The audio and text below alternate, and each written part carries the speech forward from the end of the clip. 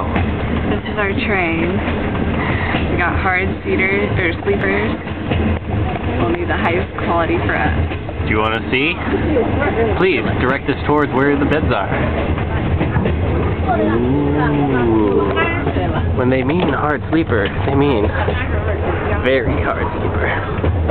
On the side note, the pillow is made of beans.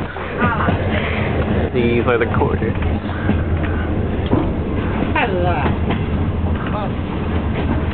Nothing, of course, but the best. What do you think of it so far? More than I could have ever asked. Ah, spoken like a true Chinese studier. the end.